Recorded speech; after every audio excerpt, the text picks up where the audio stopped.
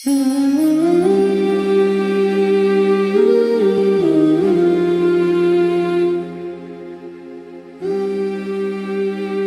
الإمام جعفر الصادق عليه السلام لعبد الله بن جندب.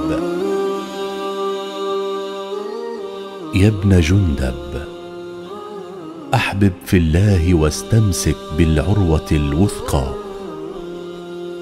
واعتصم بالهدى يقبل عملك.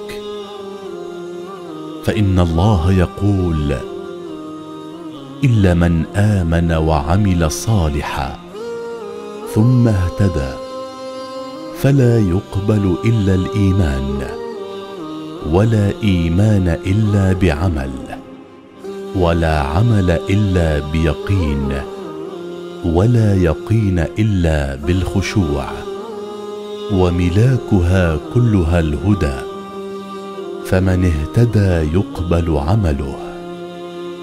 وصعد إلى الملكوت متقبلا. والله يهدي من يشاء إلى صراط مستقيم.